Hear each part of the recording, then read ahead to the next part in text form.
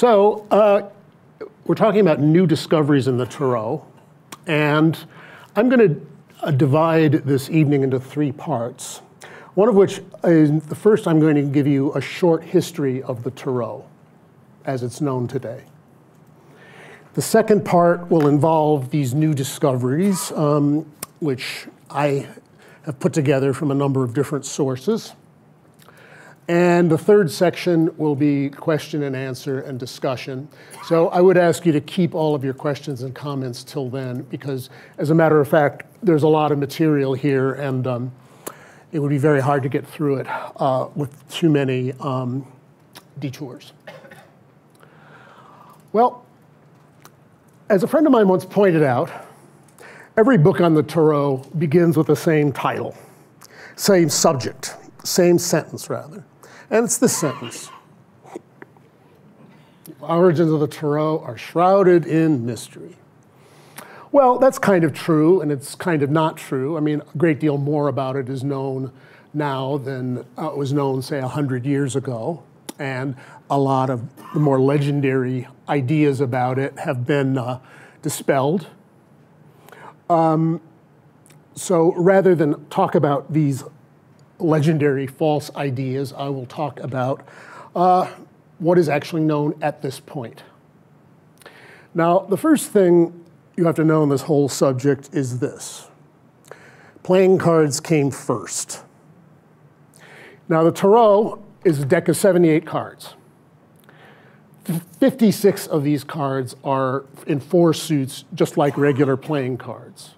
There's an extra court card called a knight in each suit. So that's 56 cards.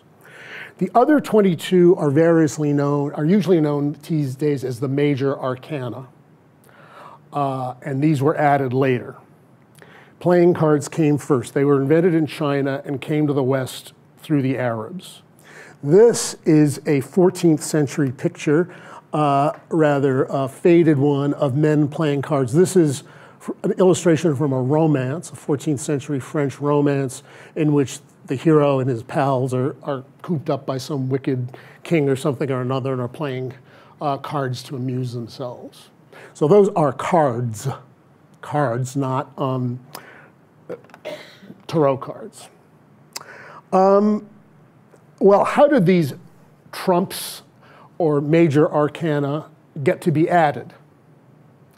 Well, to understand that, you have to understand that there was a, a common thing at the time, and these were called triumphs. Sometimes there were parades in which there would be like a cart of certain symbolic entities following others, and they were supposed to have a mystical significance. Uh, here's one. Uh, this is uh, an illustration of, a, of, and this is death. Um, and death is one of the key figures in these triumphs um, you will notice that there's certainly some resemblance to the devil, I'm sorry, the death card in the Tarot, because you have this uh, a grim reaper here who's a, more or less a skeleton and lots of dead people and chopped off heads here, which is um, one common feature of Tarot uh, symbolism uh, of death. Um, here's another one, uh, another triumph of death. Uh, very much the same again with the same motifs. And here's uh, a couplet about it. When that they look for not for me at all, with sudden stroke I make them down to fall. Now that is archaic English because it was translated by a man at the court of Henry VIII.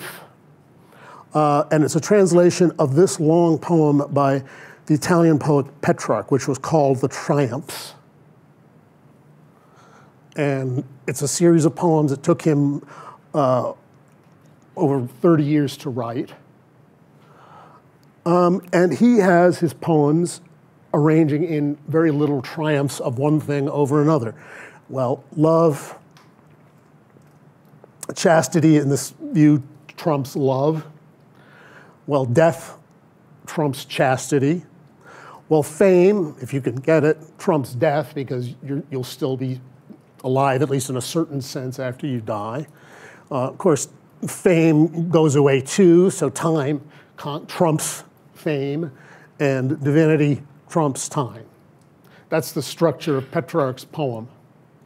And you can see a lot of these things uh, love, death, time reflected in one way or another uh, in the major arcana of the Tarot, the 22 cards. Uh, in the 15th century in Italy,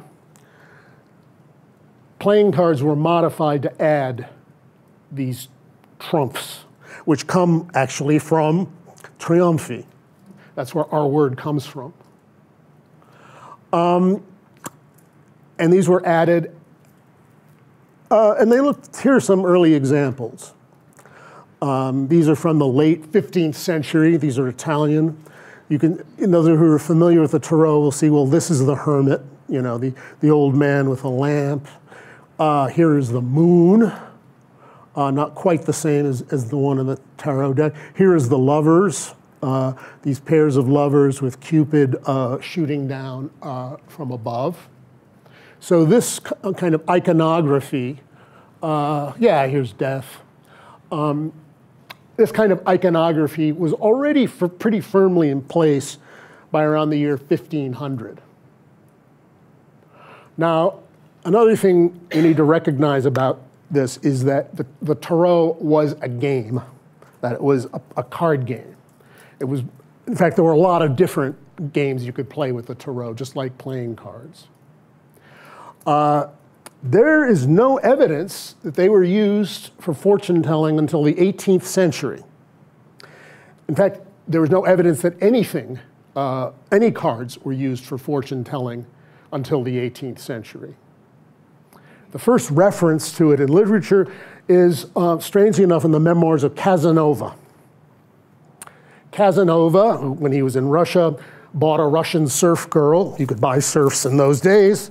Um, and he sort of kept her around, and he, was, pretty fond of her, except she had one very bad trait, which was that she was compulsively jealous, which is not perhaps an ideal characteristic to have if you're Casanova's girlfriend in any case, he kept saying she would compulsively uh, use these playing cards to kind of tell his whereabouts and that kind of thing. So that's the first reference to it that we have in this really odd context. Uh, and no one had any particular association of it with esotericism, uh, with ideas, even though a lot of these ideas came from the, the kind of, in a sense, the, the medieval tradition. It was still just thought of as a game. Then, in the year 1770, this man, this rather glum looking man, Antoine Court de Gébelin, published a book called Le Monde Primitif, the Primitive World, in which he said this. I'm not going to read it all to you, but uh, it's a work of the ancient Egyptians, a book that contained their purest doctrine, and that this fruit of exquisite wisdom, as an insignificant pile of extravagant trumps. So Court de Gébelin in 1770 was the first man who said that there is an esoteric significance to the Tarot. That is the first instance we have of that. So it was much, you know, the Tarot was invented, to say, I don't know, 1440 or something like 30 or 30 or 40. That's 300 years before anyone decided to say it was um, had any esoteric import. Uh, and this is a common theme that this is a work of the ancient Egyptians. Uh, now, one thing you have to know is that there is uh, nothing in ancient Egyptian art that looks like the Tarot in any definable or obvious way. There may be something else behind it, and that's what we'll get to, but uh, there's no tarot deck, you know, to be found among the tombs of the pharaohs. The, the next important figure in the history of this whole concept was this man, another Frenchman, Eliphas Lévi, who was one of the most influential occultists of his time, which was the mid 19th century. Uh, he was an extremely important figure. And in one of his books, he wrote this The 22 keys of the Tarot, that is the major arcana, the trumps, are the 22 letters of the Kabbalistic primordial alphabet. So Eliphas Lévi is saying that the 22 letters of the Hebrew alphabet, which were often considered, uh, the Kabbalists, the mystics of Judaism, would often meditate and, and permute um, these um, letters uh, as a form of mystical contemplation. These letters were somehow related to the 22 major trumps of the Tarot. Well, what did he mean by that? Well, let's begin by actually looking at the, this is the earliest alphabet. Um, this is, was invented by the Canaanites and the Phoenicians, uh, some, you know, sometimes between 15 and 1200 BC at the end of the Bronze Age. If you count those squares, which each one has a letter, you will count 22. This, uh, this was the first alphabet ever uh, devised. Uh, it is the ancestor of just about every alphabet now known in the world, including our own. I mean, you can even see our alphabet here. Well, guess what? This ayin here is the ancestor of the letter O. This lamed here is the ancestor of our, our um, letter L. Uh, Aleph, well, this just likes, looks like an A on its side. So this is where we got our alphabet, and this is how it came. Here are some hieroglyphics, which the Egyptian writing. Now, in Canaan, Canaan and Phoenicia, now known as Palestine and Lebanon, and Israel and Lebanon, um, they simplified it so that each of these hieroglyphic symbols was correlated with a sound. Usually, it would be uh, the, the, the, first sound of the thing that you were drawing. Like this uh, looks like waves, and it's water, and uh, it is the letter M, which in Hebrew is mayim. Uh, ayin is the word for eye. Uh, uh, this is a head, which ended up evolving into our letter R via the Greek. Um, this, this T became this T. Um, that's where it happened. It came, it came from the Phoenicians through the Greeks to the Romans, and that is our alphabet. It's, we still call it the Roman alphabet. Um, I'm going to go back a minute to this because in between the old Phoenician, in between these letters, this is what the Hebrews wrote in in the time um, of the monarchy of Israel between um, 1000 and 586 BC. These are the letters they use. If they dig up anything like a potsherd or something else with something scratched in it, uh, those are the letters you will see they did not use or have this. There were these Aramaic letters. This is the Aramaic alphabet. They, the Hebrews and the Talmud called it the Assyrian alphabet. So guess who they got it from? Um, you'll see this looks more, this look, starting to look more like Hebrew letters, um, and um, hence we have this in the Talmud, it says that um, the Talmud calls these old letters the broken letters because they are actually kind of crude. And uh, one place in the Talmud it says that uh, the law was given um, in these broken letters um, because the people were degenerate and they were slaves. And only after we became refined did we start to use this uh, nice, lovely alphabet that we have. So the whole point of this is that these 22 letters evolved through a couple of steps into the Hebrew alphabet. Right? That all pretty clear?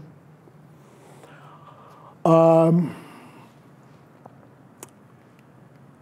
and again, these were 22 letters. This is another set of 22 letters.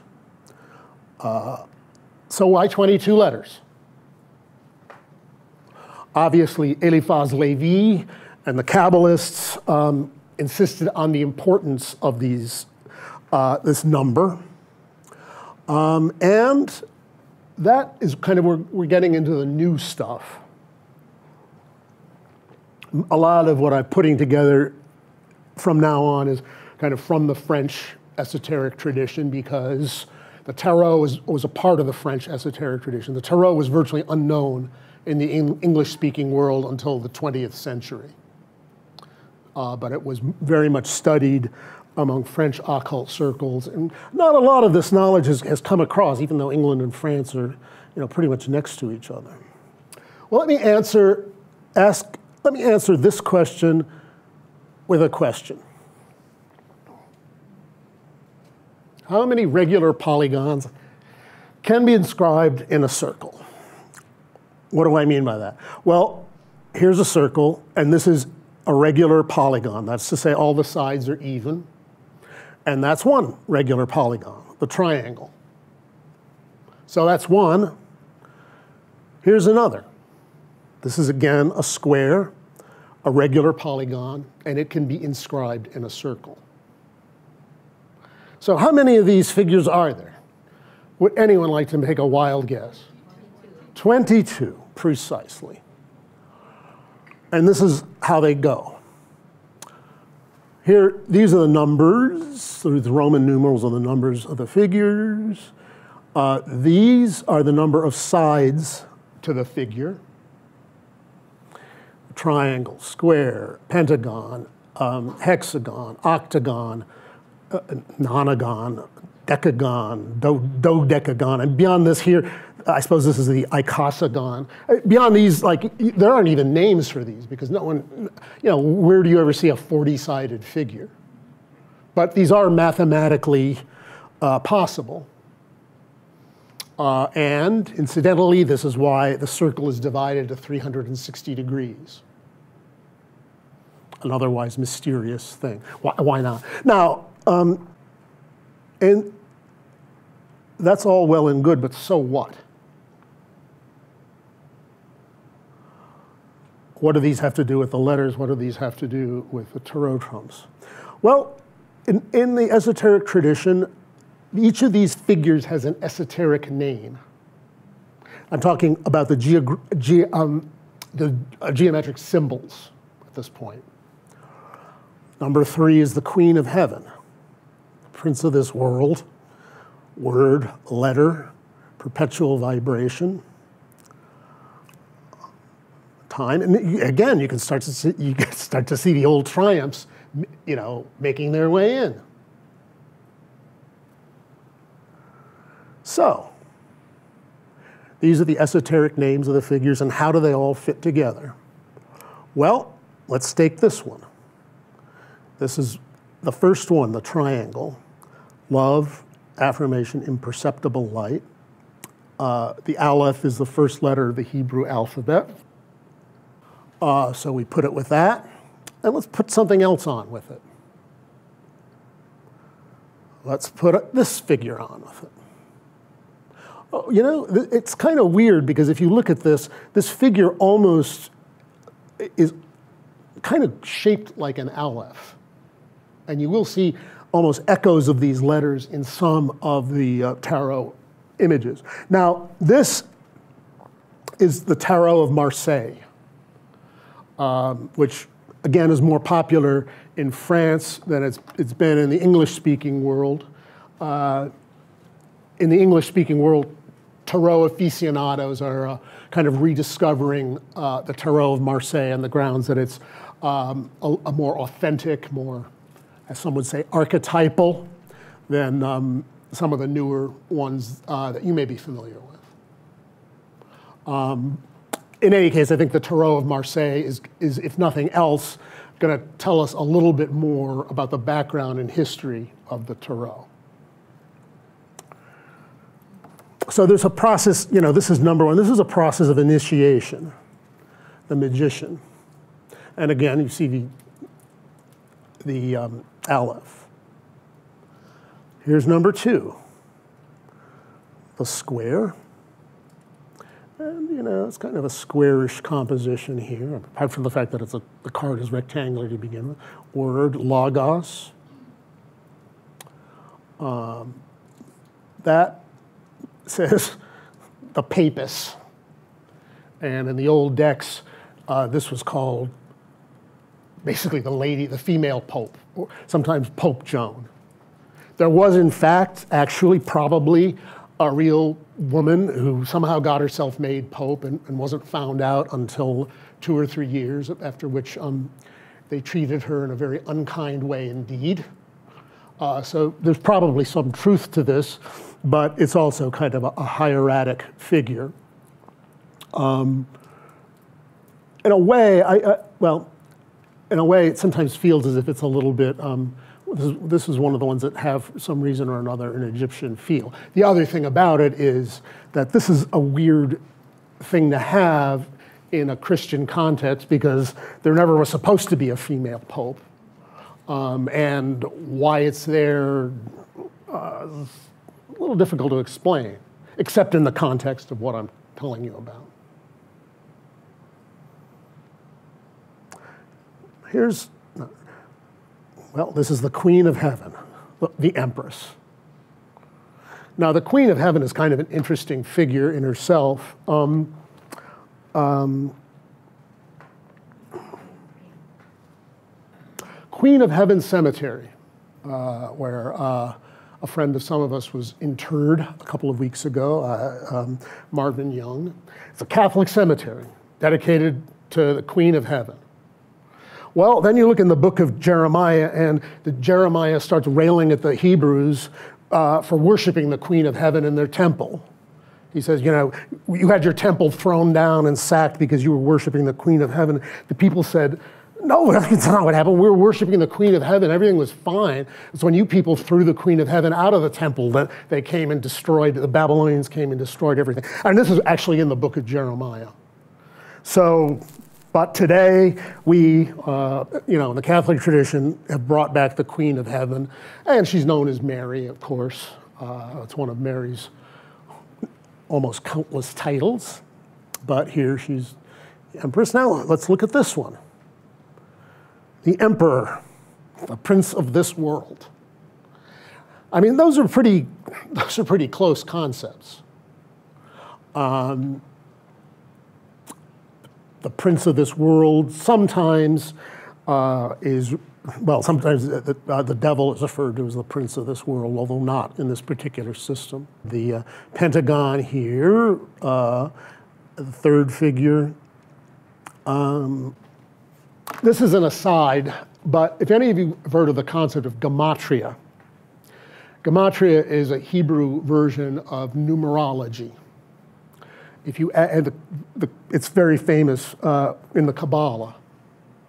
You, these letters are numbers, and if you add up certain the numbers of the letters and, and uh, the numbers of the uh, letters of a certain other word, they suggest a kind of equivalency. Most gematria link the numbers with the letters this way. Aleph is the fourth letter of the alphabet, so its, its value is four. There is an esoteric numerology, very little known. I've never seen anything written about it in English, which has a different system of numeration. The value of this letter is not this number, but the number of sides to this figure. So you would add if you're adding things up, this would be a six rather than a four. And that yield lots of different results. That is, that is I, have never even seen anyone write about this in English. Well, here's kind of a funny one. Le Pape, the Pape, Pope, uh, and you see him uh, associated with nutrition. Well, perhaps a little bit uh, of a stretch, but of course there is the word pastor, which comes from the Latin pascere, meaning to feed.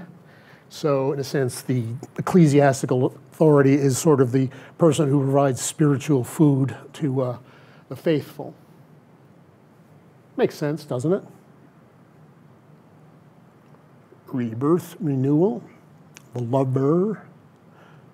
Is this the lovers or the lover? Lover. Um, a lot of the modern tarot decks call, say call it the lovers, but it's in a sense it's it's about this guy. And Cupid is shooting kind of right between him and uh, obviously his we're supposed to think is his soulmate, and this rather unpleasant person is getting in the way for reasons that are not quite clear.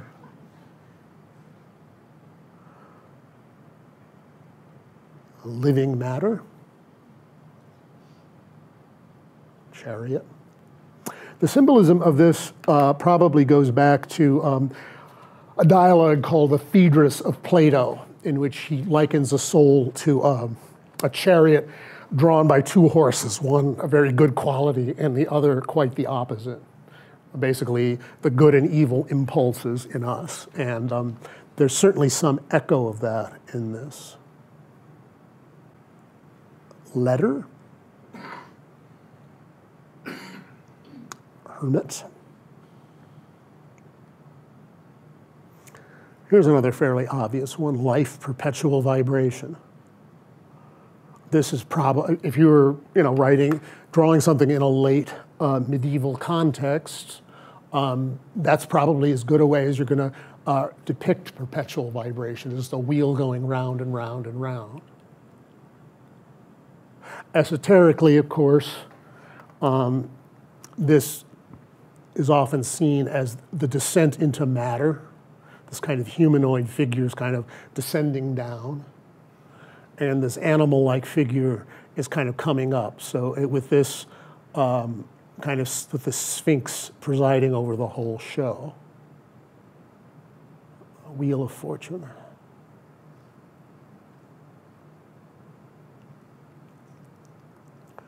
Justice, search, progress. Notice kind of a visual echo of this letter, the kaf with this.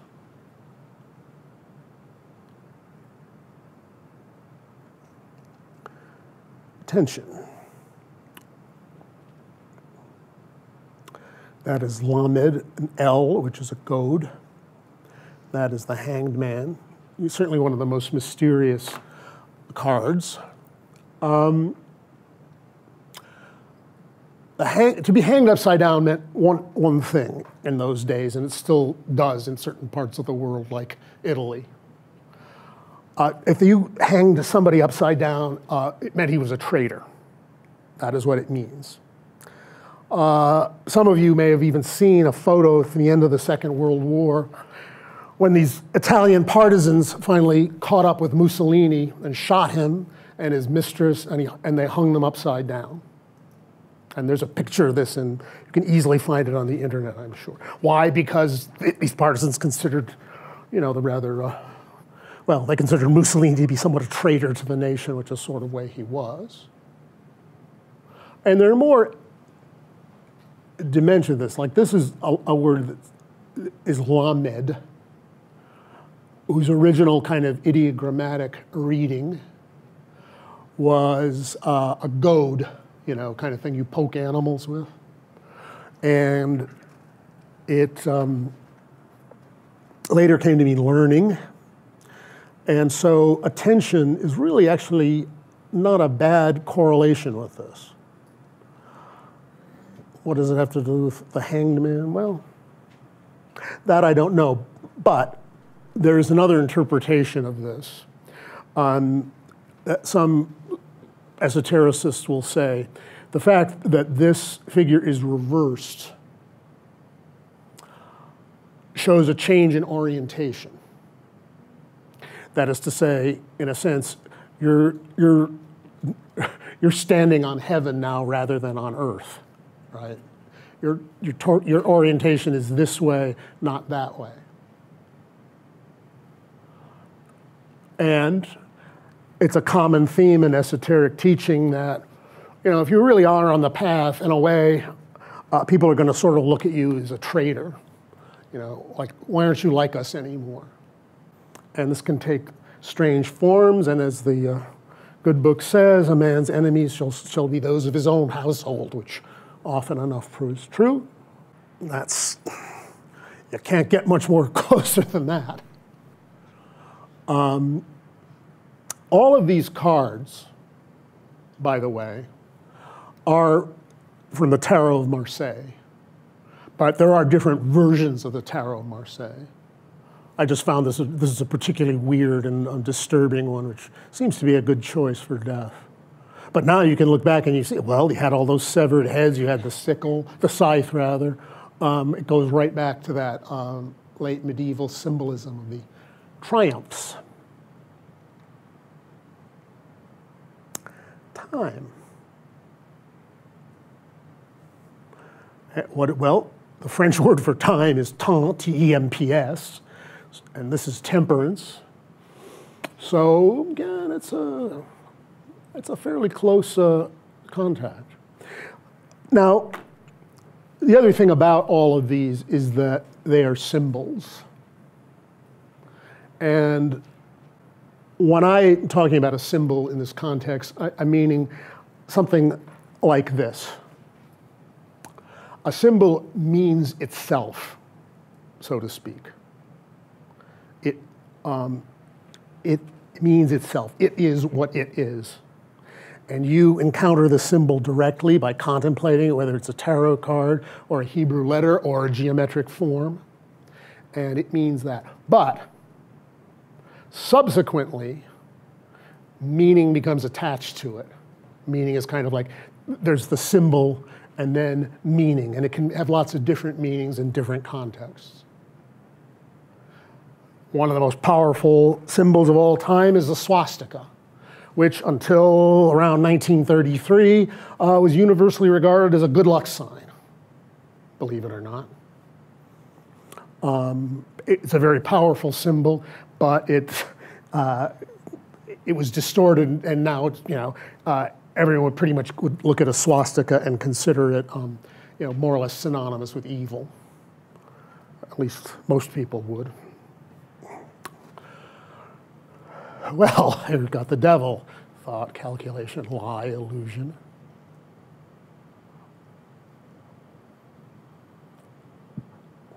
It's a rather, uh, these designs are odd, and one never really knows kind of what to make of them.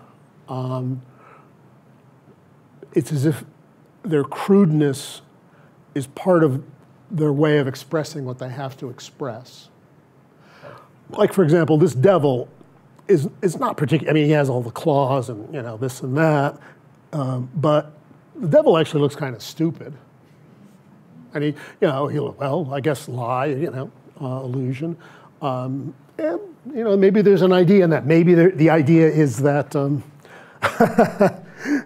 number the person number one person you're most likely to fool is um, guess who? Yourself. It's easier to lie to one person than it is to many people even if that one person is yourself. I would say this uh, explains a great deal about even ordinary psychology relief so in a sense this is kind of clearing the board so things start all over again. Um, it's certainly kind of a, it's certainly a powerful card. Uh, in the English decks, it's called the Tower. This is it's a rather curious name here, La Maison Dieu. It's I mean it's not even really grammatically French. It means like the house god. The house god. There's no de or of in there and they, they could certainly have fitted in if they wanted it to. So that may have some significance. But again, you know, it, it, this is not quite as negative as it looks, because it does look like some um, uh, energy is coming down in the form of these sparks. And, um, you know, it's certain, the most obvious image it, it really suggests is um, you know, the, false, the fall of false gods. This letter, the Hebrew ayin, which you uh, already saw as the source of our letter O, means I. So in a sense, if this had to do with self-deception, maybe this has to do with realizing the awful truth, whatever that may happen to be.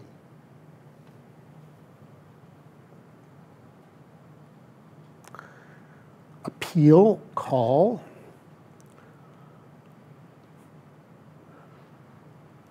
When I was looking at looking this up on the internet, I came across some site that said um, this is one of the most magnetic cards of the uh, tarot, and in a way it is. Appeal, in this sense, um, means as in sex appeal, you know, an appeal, someone has appeal, uh, as much as, as it is a call in the more um, literal sense. Fixation, waiting. There's something kind of weirdly stagnant about this. Um, many tarot aficionados associate um, the cards with the planets and also the signs of the zodiac. Uh, so if so, this would make it look an awful lot like Cancer the crab, ruled by the moon. I mean, astrologically, uh, the sign of Cancer is ruled by the moon. So there's an, that, that is another, um, shall we say, um, layer of symbols that could be worked into this. And again, you're not really trying with all of this to come down and say, you know, there's like this fixed meaning, X, Y, and Z. It's rather a thing that has a lot of meanings that branch out from it, which may not look like each other, but it would probably be a mistake to say that they contradict each other. And that would be true of astrology. I mean, you could do, you know, certain people certainly have done lectures on astrological symbolism from very much that point of view. Reintegration, this certainly one of the more innocent and cheery cards.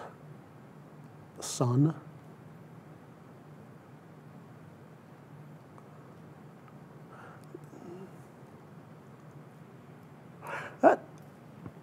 That letter Koph is the ancestor of our letter Q.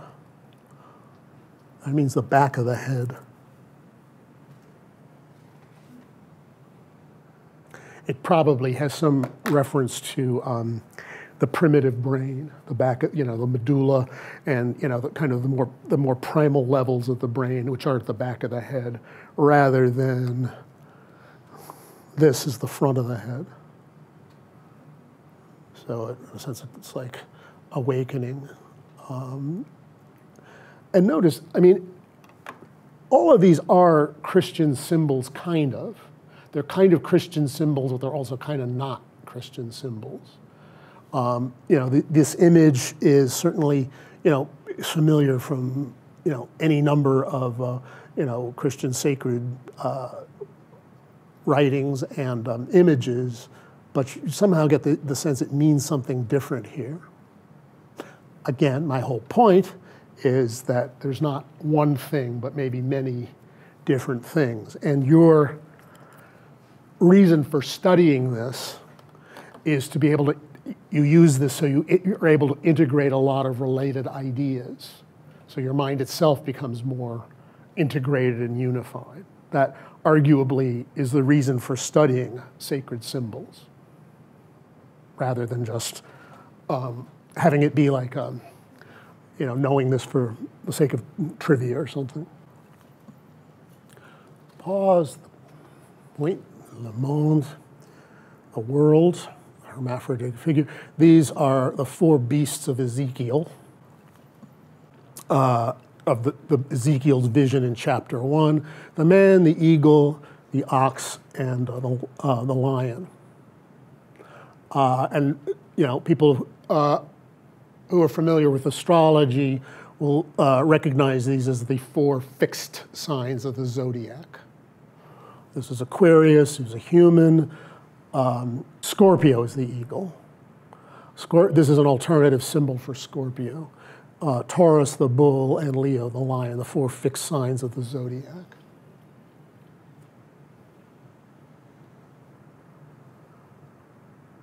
And this is the whole. The fool.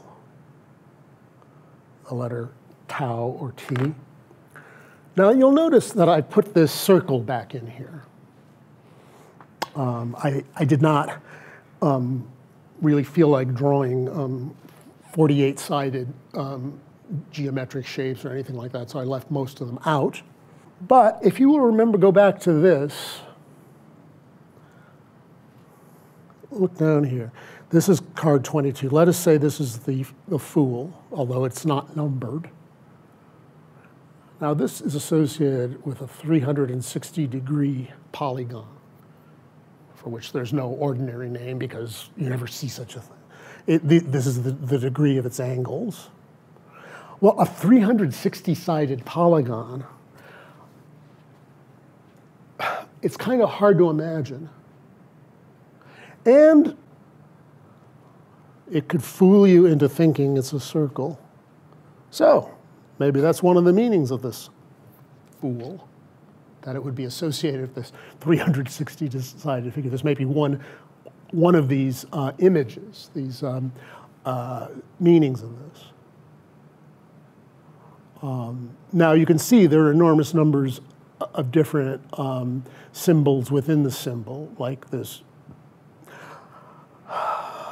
You know, some people have, uh, some tarots kind of the more modern um, you know, um, sugary ones have, have, you know, this is kind of like a little dog jumping beside the fool, but you know, this obviously looks like, if you just take it as only, it looks like this, this basically this bum who's being attacked by, you know, somebody's dog who wants to drive him out of the house. And it's probably closer to what it is. And, you know, of course, the fool at some level represents all of us. So, where do we come from? here, here are the forms of the Hebrew, 22 Hebrew letters. And they can be traced in a funny way to these hieroglyphs. So when they say it has an Egyptian origin, this could be at least the source of this idea. To be more specific, okay, you, you, oh, you know what? Um, you know, all that stuff about Moses and the Exodus and the Red Sea and stuff like that, that couldn't have happened. That was historically impossible. Do you know why? Because the Promised Land was an Egyptian province at that time. It would be like saying you led the, the, the children of Israel out of the United States into Alaska. So, and the Egyptians ruled Palestine, as it came to be called, came to be ruled um, Canaan. They're not quite as far up as Phoenicia. But it's conceivable that in this milieu, someone, some esoteric school about which we know nothing, started with these Egyptian hieroglyphics, made a set of letters, uh, 20, which eventually they numbered at 22 for the reasons we've just been talking about for the last half hour. And that could be why the Tarot is said to have an Egyptian origin. Now, what I'm saying is speculative. Uh, and when I say it's speculative, it means, um, from my point of view, it's, it's consistent with known evidence. But you would have to have a lot more evidence to prove that it was so. Uh, I have no particular reason to believe this evidence will ever show up, although it could. Um, so, you know, maybe there was some truth to this, Egyptian idea, at least in this very indirect form. Uh, before Eliphas Lévi, nobody equated the Hebrew letters uh, with the um, 22 tarot trumps.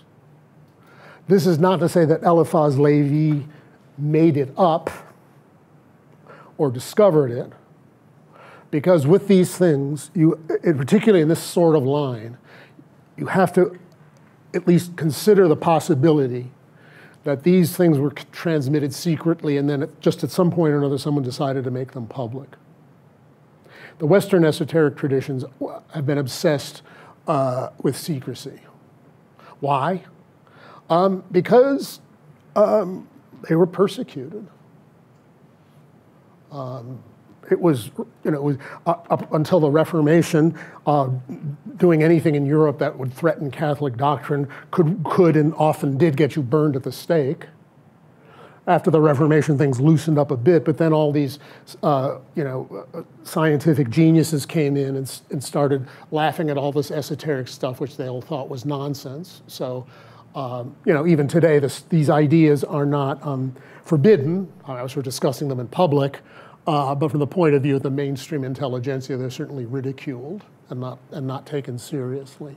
So the Western esoteric traditions always had a certain motivation to um, hide themselves and only emerge when it was safe to do so. So that's kind of a lot, but you know, uh, to go back to it, it's there does seem to be some connection between the symbolism of these figures, the names for them, the tarot cards, and the Hebrew letters, all of which, number 22. Some of the tarot cards I'm familiar with, you know, they have a picture and then the explanation of the, the term in, in, a, in a verbiage. Um, and that way you pull the card and then it will kind of uh, give a insight to the current problem you're seeking for. This is the uh, very original, so I, I don't know, it might not have, but is that a tarot has a, a word and an explanation normally? It might not necessarily be a tarot card. There are a lot of um, decks and fortune telling cards that range all over the place. Um, a lot of them are simply inspirational. There'll be like a, a deck of cards that, you know, um, you know, you pull it out and says, you know, this is the first day of the rest of your life or whatever. Um, this, you hope, has some meaning for you in the context that you're asking it. So there are a lot of different uh, versions of it. Um, I, the tarot cards themselves, generally speaking, anything that's kind of properly a tarot card is um, probably doesn't have too much, much more verbiage on it than this and the old ones, you know, like the old Italian ones. Um, uh, you know, these these are kind of the original ones. You can see. I mean, they don't. They, they didn't have any explanations at all. So, where did the Trumps come from? They seem to be like uh, metaphysical or philosophical ideas that, uh, I mean, were they the first set of cards? No, they the playing cards came first, and then the, where did the trumps come from? Well, they came from um, this concept of these triumphs, and they were parades. Like they would have carts where a person would, you know, would be dressed up as death and swing a sickle, and the next one would be whatever came after it, like you know, lovers um, so that, and then these evolved into these symbols. They made them into cards.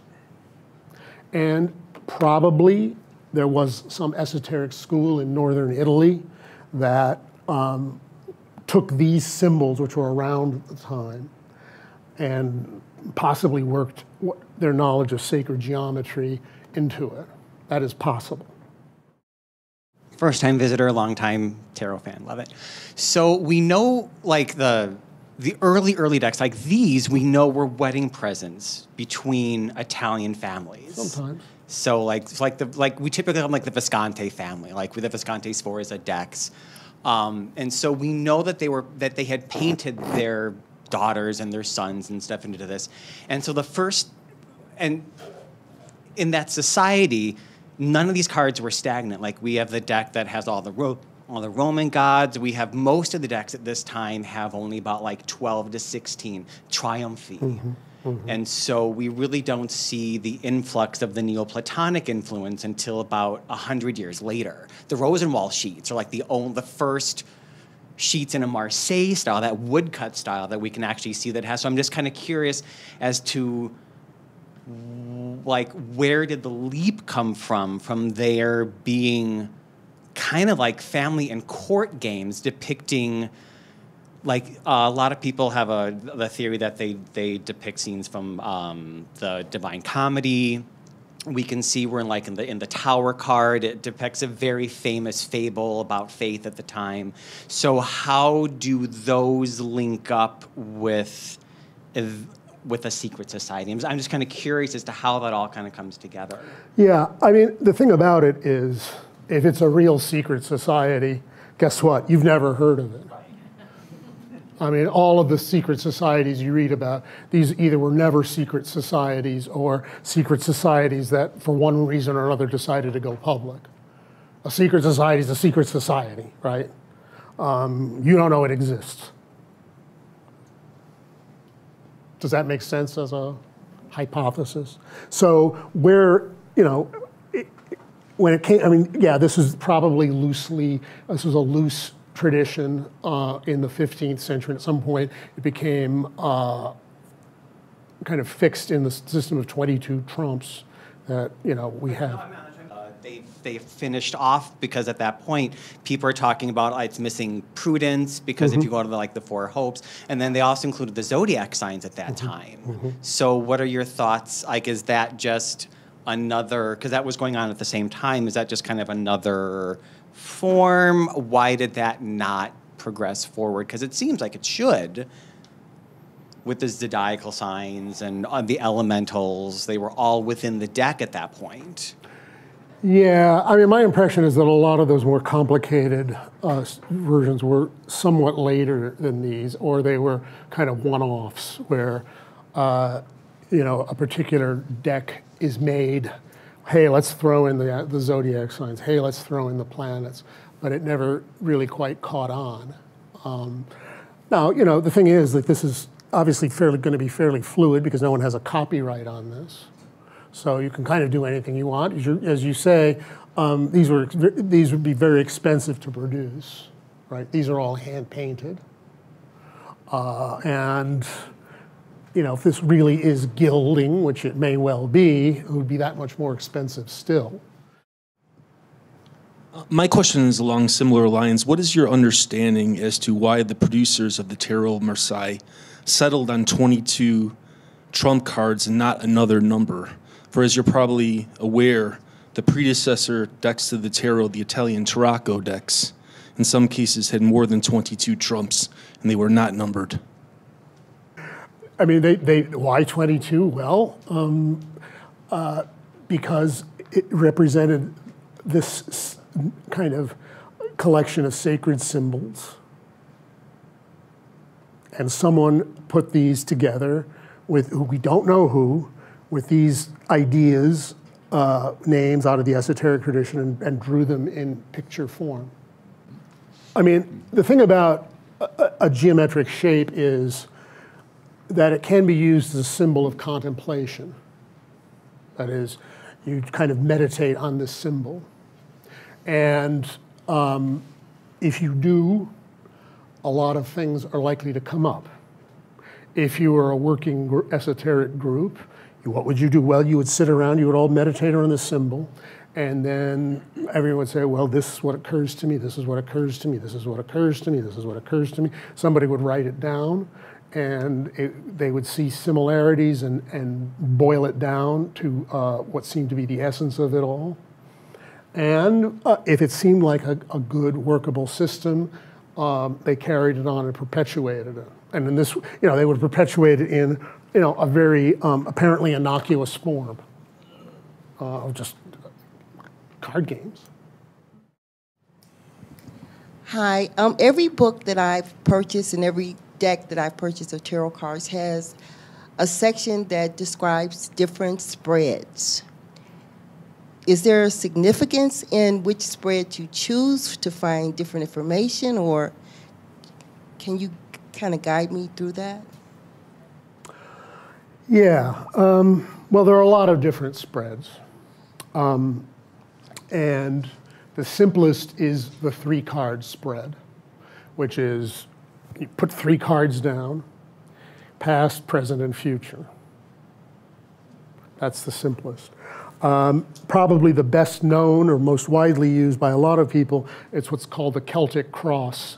Uh, so you put these cards out in a cross and then you put four others uh, on the side and they will uh, show different sides of it. Uh, there are people who use the Kabbalistic tree of life. You know, uh, you're familiar with the 10 sphirot of the, the tree of life. There are people who will do a layout in that form. The Celtic cross is the most common. Um, a friend of mine just published a book uh, which um, has an interesting spread that uh, she learned from an old Welsh wizard. Um, that's quite unusual, but I think has some possibilities. It's called the Fool's Mirror. And it's kind of like the cards are laid out in diagonal form. You lay out 22 cards, and you, you only use the major arcana. So every card appears in the spread. It's a question of where it appears and how they relate to each other that tells you what you need to know. Now, this has some advantages because um, if you use an ordinary, uh, one of the more familiar layouts, uh, and I, those of you who've read Fortunes, um, may have uh, had this experience where you know, you know, you're reading cards for somebody, and then you know, you know, something like death or the tower, or you know, some really dark-looking card comes up, and you know, the, the person, you know, the, the, the, person you're reading for thinks he's screwed, um, and it, it, it and chances are, no matter how you interpret it, the person goes home and says, "Wow, I saw the death card. That's the only thing they remember." So in this layout, the death card is going to show up, right? Uh, the tower card is going to show up. The devil is going to show up. So it, it, it, becomes kind of part of the, the natural occurrence. Um, the book is called uh, Tarot Triumphs uh, by Cherry Gilchrist, if you want to uh, read it. And I think, I think there's something to it. I think it's very, it also has uh, some description. It starts with a description of the old, uh, kind of an imaginative but, but very plausible description of what the old uh, medieval triumphs looked like, those, those old processions. So um, that's, that's what I would say. But I think, you know, most, most tarot readers think the more they do, the more it becomes, you know, a question of trial and error. You know, this kind of works for me. Um, uh, they might do different ones in different circumstances. I had a question from somebody listening through the internet. Do you feel that it's correct to correspond the tarot trump cards alongside Jungian archetypes? Yes. Isn't that enough? I, it'll have to be if that's all you're giving. well, as a matter of fact, if you look at, if you like wrote a list of Jung's archetypes, just wrote down all of the, the ones he talks about the most, it would be remarkably easy to correlate them to one or another of the tarot trumps. Hey, the trickster, uh, the anima, the animus, uh, the divine, well, that's hermaphrodite, um, uh, the wise old man. That's the self. The shadow. And on and on. So you, yeah, you can do it. Uh, and I sometimes think that one purpose of the Tarot arcana, the major arcana, is to serve as kind of like a uh, concise guide to the archetypes of the Jungian unconscious. So I think that, as I said, the answer is yes. Um, as an aside, um, Jung himself did not write a great deal about the Tarot, um, but he did study it a little bit. He studied it with a group in Zurich around 1950, and the group kind of fell apart after two or three years for, I don't know, whatever reason. Um, but uh, they did study it a little bit, and Jung uh, said that this deck, the Tarot of Marseille, of all the ones he looked at, seemed to have the most archetypal content. So you focused on the uh, Marseille deck, and a friend once told me that it's really hard to find the actual Marseille deck, the variations of the deck. So, for example, if you go to Quest, the Quest bookstore, you can buy uh, the Universal uh, Marseille, which is close to this but not identical. So, I guess my question is, where did did you get these images online, or do you actually have a Marseille deck? Yes, to both. I didn't. Uh, the, the the most common you know, Marseille deck available, and one I think most people use, is published, I believe, by a French company called Grimaud. Uh, and I mean, these are all, as I said, these are all different tarots of Marseille, and you know, you can see they have, uh, you know, like this one is obviously nothing like many of the others. Um, you know, they are different ages. This is, you know, this looks like a little bit more uh, contemporary or maybe 19th century than, you know, some of this, which looks like it's almost out of a, uh, you know, a medieval broadsheet. Um, but the ones published by Grimaud are the ones I think that are most widely available, and it would, you would have to have, have to be a real specialist, um, I think, to, to really suss out the differences in the different versions of the uh, the uh, Tarot of Marseille. Although it could be an interesting exercise in its own right. Tarot is fascinating. In fact, um, as an aside, um, around 1980, a book was published called The Game of Tarot, and it was a, description, a collection of all the games that the author could find of the Tarot. Uh, the games played with it, not for cartomancy or divination, just the games that people played with it. Um, this book is out of print and very expensive to get. It was written by Sir Michael Dummett, and the reason he was Sir Michael Dummett is that not for anything he, having to do with his interest in the Tarot, but for the fact that he was one of the most distinguished British philosophers of his generation.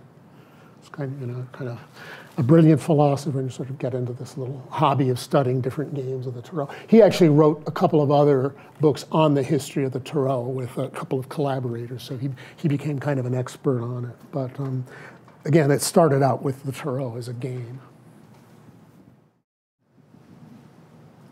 Sorry, this is a very simple question. I'm new to all this. So, um, what I've been seeing is that there's people that say that the car being upside down, it, it impacts its meaning.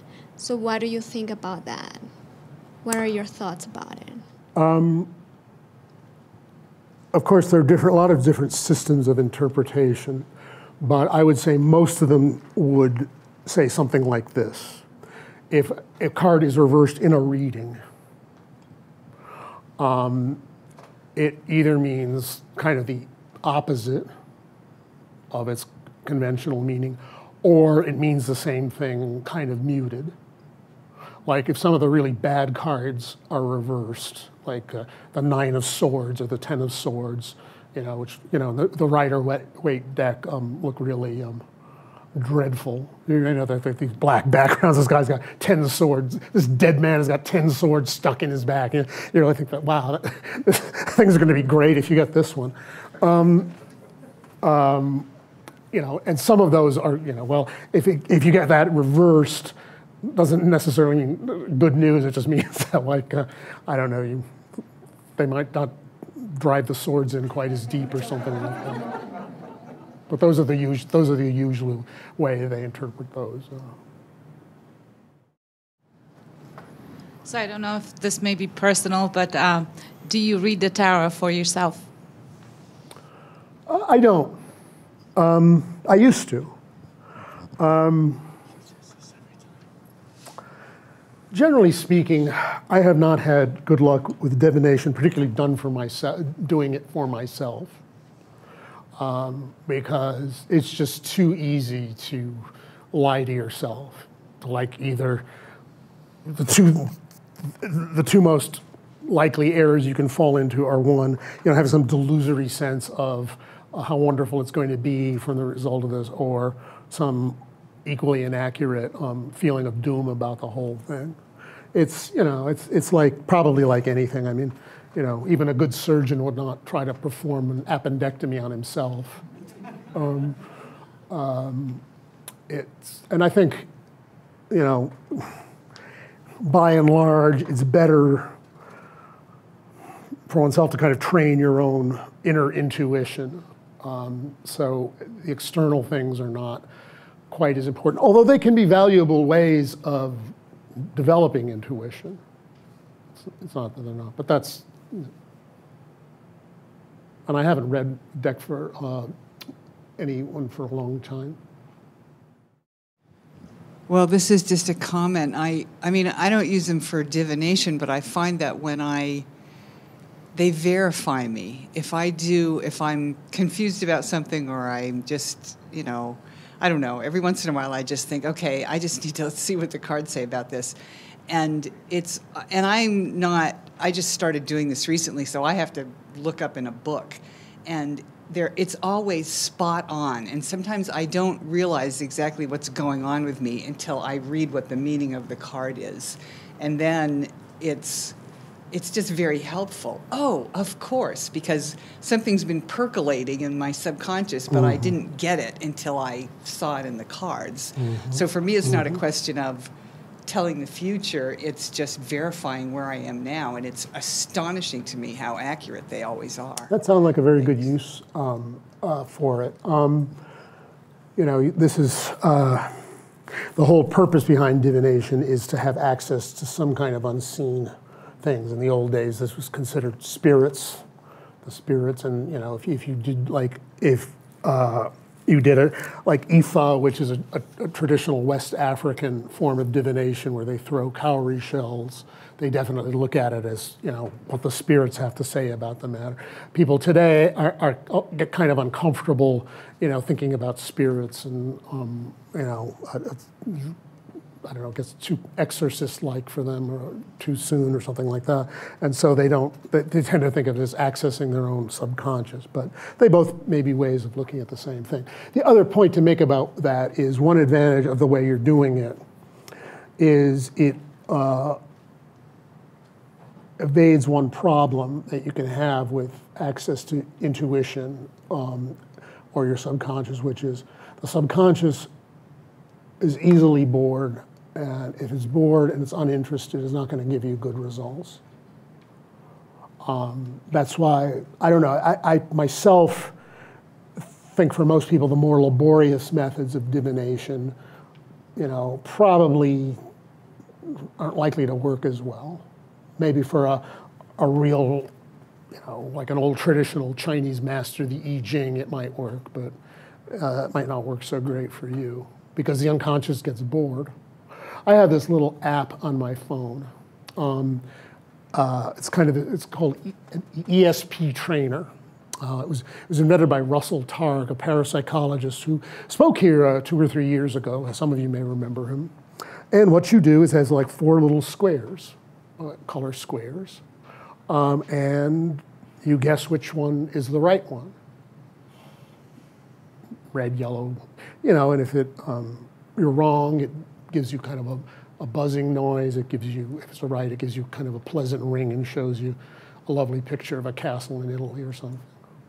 I've noticed myself when I, I don't play with this that much, but I do notice that the first couple of times I, I try it um, are times I'm most likely to succeed. And even if you do it like four or five times, I, I can sense the unconscious getting bored with it, and you know the um, average goes back to random. So avoiding boring your unconscious is probably a good way to um, uh, practice divination.